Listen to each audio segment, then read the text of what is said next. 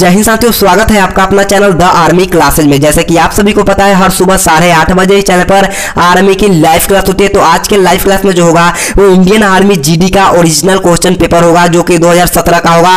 तो आज का वीडियो आपके लिए बहुत ही शानदार होगा। वीडियो को पूरा देखिएगा और जो आपका आज का टारगेट है, वो बाईस है। यानी कि आज कम से कम आपको बाईस का सही जवाब देना है और वीडियो को पूरा देखना है। आप लोगों से एक लास्ट में क्वेश्चन भी पूछा जाएगा, जिसको कमेंट बॉक्स में आप लोगों को आंसर बताना है। तो बढ़ेंगे आज के फ़र्स्ट क्वेश्चन की ओर। फ़र्स्ट क्वेश्चन आप लोगों से पूछा है the president of India can nominate how many members of the Rajya Sabha यानी कि भारत का राष्ट्रपति जो है, वो कितने सदस्यों को राज्यसभा में मनोनीत कर सकता है? यानी कि भारत का राष्ट्रपति जो है, वो कितने सदस्यों को राज्यसभा में चुन सकता है? कहने का मतलब यह है तो जल्दी से इस क्वेश्चन का राइट आंसर बताइएगा। तो भारत का राष्ट्रपति जो है, वो बारह सदस्यों को राज्यसभा में चुन सकता है। यानी कि इस क्वेश्चन का राइट आंसर जो होगा, वो ऑप्शन नंबर सी होगा। अगर आपसे सवाल ऐसे पूछ दिया जाए कि राज्यसभा में कुल कितने सीटें होती है तो राज्यसभा में जो सीट होता है वो अढ़ाई सौ होता है, यानी कि 250 होता है, इसको भी आप लोगों को ध्यान में रखना है। तो बढ़ेंगे दो नंबर क्वेश्चन की और दो नंबर क्वेश्चन आप लोगों से पूछा है, Chipko movement was started by यानी कि चिपको आंदोलन जो है, उसकी शुरुआत किसने की थी? आप लोगों को बताना है कि चिपको आंदोलन की शुरुआत जो हुई थी, वो किसने की थी? तो चिपको आंदोलन की जो शुरुआत की थी, वो सुंदर लाल बहुगुना ने की थी, यानी कि इस क्वेश्चन का राइट आंसर जो होगा, वो ऑप्शन नंबर ए होगा। तो बढ़ेंगे तीन नंबर क्वेश्चन की और तीन नंबर क्वेश्चन आप लोगों से पूछा है हुआ the first victory of India, यानी कि भारत का पहला वायसराय कौन था? आप लोगों को बताना है कि भारत का पहला वायसराय कौन था?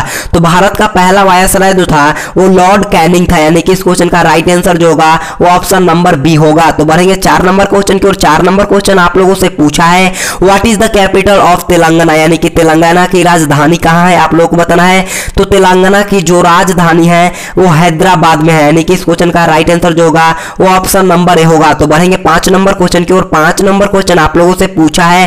PB Sindhu is associated with यानी कि पीबी सिंधु जो है, वो किस खेल के साथ जुड़ी है? आप लोगों को बताना है कि पीबी सिंधु का संबंध जो है, वो किस खेल से है? तो जल्दी से इस क्वेश्चन का राइट आंसर बताइएगा। तो इस क्वेश्चन का राइट आंसर जो होगा, वो ऑप्शन नंबर सी होगा यानी कि पीबी सिंधु जो है, वो बैडमिंटन खेल के साथ जुड़ी है। अगर आपसे सवाल पूछ लिया जाए कि मिथाली राज जो है, वो किस खेल से जुड़ी है? तो मिथाली राज जो है, वो क्रिकेट से जुड़ी है। इसको भी आप लोगों को ध्यान में रखना है। तो बढ़ेंगे छह नंबर क्वेश्चन की और छह नंबर क्वेश्चन बहुत ही अच्छा क्वेश्चन आप लोगों से पूछा है।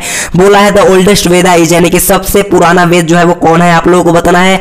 तो सबसे पुराना वेद जो है, वो ऋग वेद है। यानी कि इस क्वेश्चन का राइट आंसर जो होगा, वो ऑप्शन नंबर ए होगा। तो बढ़ेंगे सात नंबर क्वेश्चन की और सात नंबर क्वेश्चन आप लोगों से पूछा है। Commonwealth game 2080 will be held in which country यानी कि राष्ट्रमंडल खेल 2018 किस देश में आयोजित किया जाएगा? सॉरी तो हो गया मतलब कि प्रीवियस ईयर का क्वेश्चन है। इसी कारण पूछा गया कि मतलब फ्यूचर में कब होगा? यानी कि ओरिजिनल क्वेश्चन पेपर है इसी कारण आप लोगों का दिया है। तो जल्दी से बताइएगा ये कहाँ हुआ था 2018 का राष्ट्रमंडल खेल। तो इस क्वेश्चन का राइट आंसर जो होगा, वो ऑप्शन नंबर सी होगा। यानी कि ऑस्ट्रेलिया में जो हुआ था 2018 का राष्ट्रमंडल खेल हुआ था। तो बढ़ेंगे आठ नंबर क्वेश्चन की और आठ नंबर क्वेश्चन आप लोगों से पूछा है, Paradip port is in which state? यानी कि पारादीप पोर्ट जो है, वो किस राज्य में स्थित है आप लोगों को बताना है। तो पारादीप पोर्ट जो है, वो उड़ीसा राज्य में स्थित है। यानी कि इस क्वेश्चन का राइट आंसर जो होगा, वो ऑप्शन नंबर बी होगा। तो बढ़ेंगे नौ नंबर क्वेश्चन की नौ नंबर क्वेश्चन बोलने से पहले आप लोगों से रिक्वेस्ट है। अगर आपने अभी तक वीडियो को लाइक नहीं किया है तो प्लीज़ जल्दी से वीडियो को लाइक कर देना। मेरे दोस्त, मेरे पास टाइम बहुत कम रहता है। फिर मैं आप लोगों के लिए क्लास लेकर आता हूँ तो प्लीज़ मेरे दोस्त, एक लाइक तो बनता है। और आपके पास जितना भी ग्रुप है, हर जगह शेयर करना, जितना भी ग्रुप है आर्मी का, हर जगह शेयर कर देना मेरे भाई, क्योंकि बहुत ही मेहनत लगता है एक वीडियो बनाने में। तो प्लीज़ मेरे दोस्त, एक बार वीडियो को लाइक कर देना। तो देखिएगा नौ नंबर क्वेश्चन आप लोगों से पूछा है। Amnesty International has its headquarter in यानी कि अमनेस्टी इंटरनेशनल का मुख्यालय है।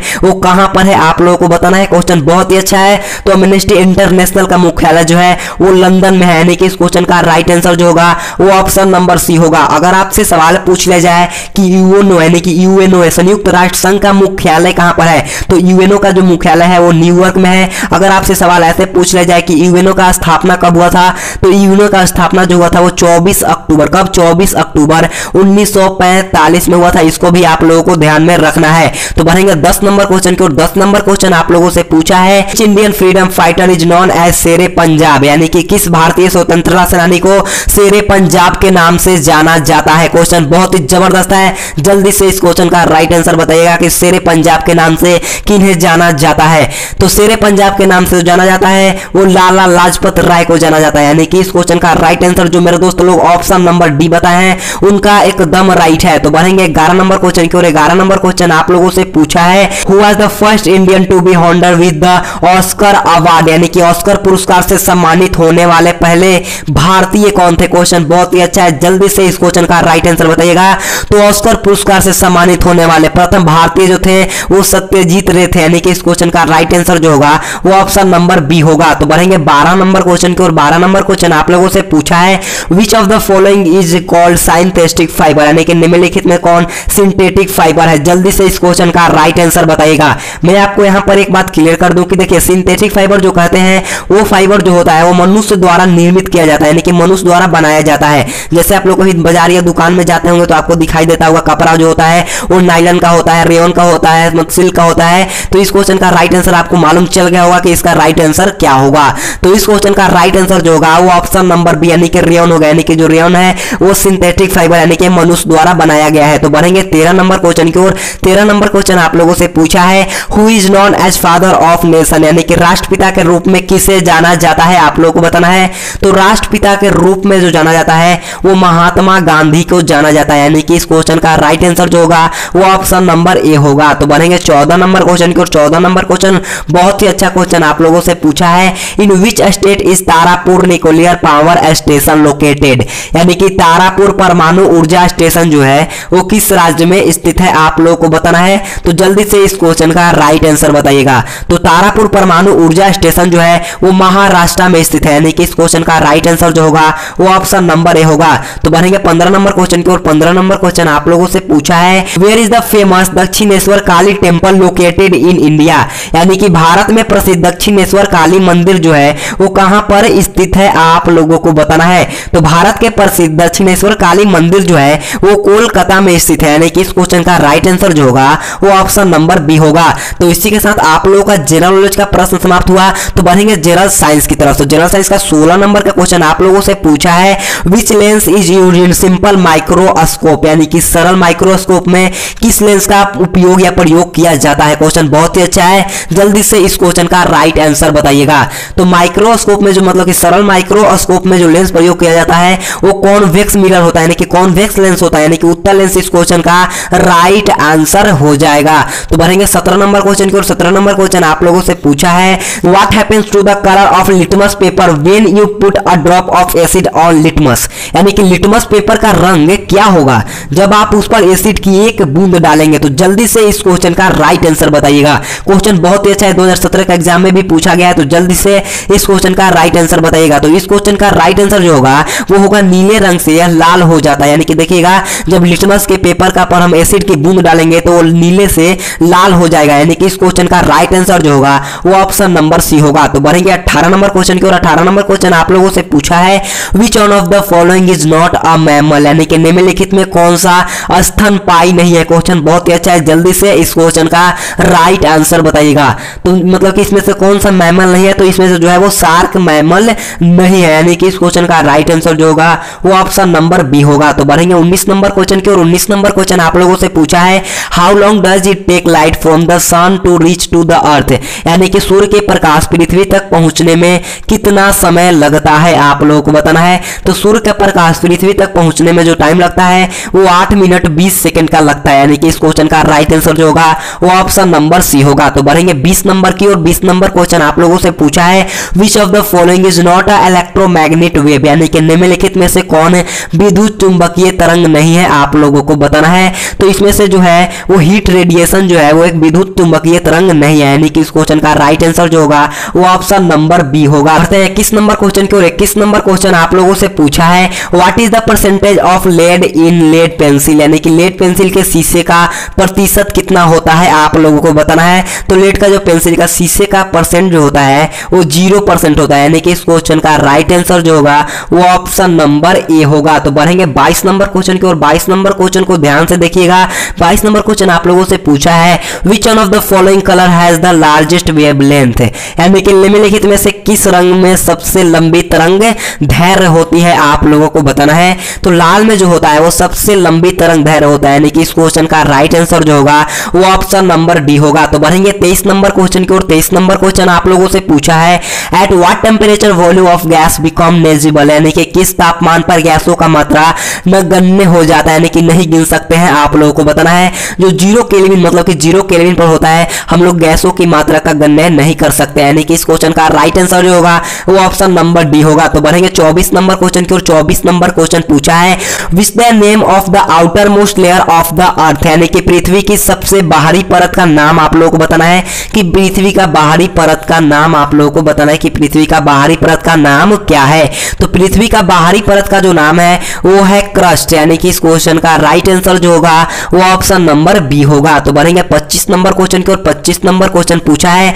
With rise in temperature the surface tension of a liquid यानी कि तापमान में वृद्धि एक तरल की सतह का तनाव क्या होगा? आप लोगों को बताना है। तो तापमान में वृद्धि एक तरल का सतह का जो तनाव होगा, वो डिक्रीज यानी कि दस सांस होगा। यानी कि इस क्वेश्चन का राइट आंसर जो होगा, वो ऑप्शन नंबर बी होगा। तो बढ़ेंगे छब्बीस नंबर क्वेश्चन की और छब्बीस नंबर क्वेश्चन बोलने से पहले फिर आप लोगों से एक बार रिक्वेस्ट है। अगर आपने अभी तक वीडियो को लाइक नहीं किया है तो प्लीज़ जल्दी से वीडियो को लाइक कर देना। और दोस्तों के पास शेयर कर देना। तो देखिएगा 26 नंबर क्वेश्चन आप लोगों से पूछा है what is the atomic number of carbon यानी कि कार्बन की परमाणु संख्या क्या होगी आप लोगों को बताना है। तो कार्बन की जो परमाणु संख्या होती है, वो छह होती है। यानी कि इस क्वेश्चन का राइट आंसर जो होगा, वो ऑप्शन नंबर ए होगा। तो बढ़ेंगे सत्ताईस नंबर क्वेश्चन की और सत्ताईस नंबर क्वेश्चन बोलने से पहले मैं आपको बता दूँ कि देखिए, जो इंडियन आर्मी जीडी का जो क्वेश्चन पेपर होता है, वो कोई मतलब कि हार्ड नहीं होता है मेरे भाई। आपको ध्यान में टेंशन नहीं लेना है कि नहीं यार हार्ड होगा हार्ड होगा। कुछ हार्ड नहीं होता है मेरे भाई। आप लोग 2010 से लेकर के 2020 का ओरिजिनल पेपर देख लेना। आपको अंदाज़ा लग जाएगा और ये देखिए, जो होता है इंडियन आर्मी जीडी का एग्ज़ाम होता है, वो पूरा प्रीवियस पेपर पर ही आधारित होता है। यानी कि पूरा प्रीवियस ईयर का क्वेश्चन भी आपको देखने को मिलेगा। आप लोग 2020 के एग्ज़ाम में बैठना, देखना आप लोगों का मैं पेपर करवा दूँगा 2010 से लेकर 2020 का। आपको बहुत सारा क्वेश्चन जो है, आपको ओरिजिनल क्वेश्चन पेपर में से मिल जाएगा। तो देखिएगा, सत्ताईस नंबर क्वेश्चन आप लोगों से क्या पूछा है? बोला ampere is the unit of यानी कि इम्पेयर की इकाई जो क्या है? आप लोग बताना है कि इम्पेयर की इकाई क्या है? तो इम्पेयर की जो इकाई वो करेंट है यानी कि इस क्वेश्चन का राइट आंसर जो होगा, वो ऑप्शन नंबर ए होगा। तो बढ़ेंगे अट्ठाईस नंबर क्वेश्चन की और अट्ठाईस नंबर क्वेश्चन आप लोगों से पूछा है big bang theory is indicate of यानी कि बिग बैंग सिद्धांत का संकेत आप लोगों को बताना है कि बिग बैंग का सिद्धांत क्या है।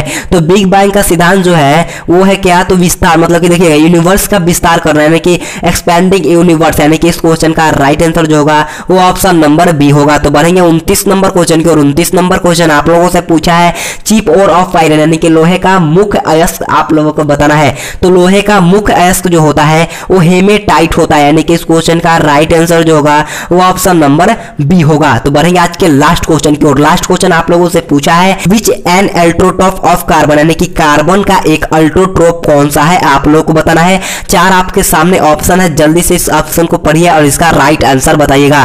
तो कार्बन का एक अल्ट्रोट्रोप जो होता है, वो हीरा होता है, यानी कि इस क्वेश्चन का राइट आंसर जो होगा, वो ऑप्शन नंबर ए होगा। तो आज का आपका टेस्ट खत्म हुआ। आपको बताना है कि आपका इस टेस्ट पेपर में कितना सही हुआ। अगर आपने 2014 2016 और 2018 का क्वेश्चन पेपर नहीं देखा है तो आपको लिंक नीचे मिल जाएगा डिस्क्रिप्शन बॉक्स में और आई बटन में। वहाँ से आप लोग देख सकते हो। और मैं आपको एक बात और बोल दूँ, इस क्लास का पूरा पीडीएफ आप लोगों को वीडियो सोल्यूशन के साथ वो भी बिल्कुल फ्री मिलेगा। आपको टेलीग्राम ग्रुप में ज्वाइन हो जाना है या व्हाट्सएप ग्रुप में ज्वाइन हो जाना है। आपको लिंक तीनों का नीचे मिलेगा। तो देखिएगा, आप लोगों से एक लास्ट में क्वेश्चन पूछा जाएगा, जिसको आपको कमेंट बॉक्स में इसका आंसर बताना है। तो आप लोगों से पूछा है हु बिल्ट द ताजमहल यानी कि ताजमहल जो है वो किसने बनवाया था? आप लोगों को इसका राइट आंसर कमेंट बॉक्स में बताना है। तो मैं आज आपसे विदा लेता हूँ। हर रोज पढ़ना है तो आपको इस चैनल को सब्सक्राइब करके बेल आइकन दबा लेना और वीडियो पसंद आई हो तो वीडियो को लाइक करके दोस्तों के पास शेयर करना। Thanks for watching this video जय हिंद, जय भारत। भारत माता की जय।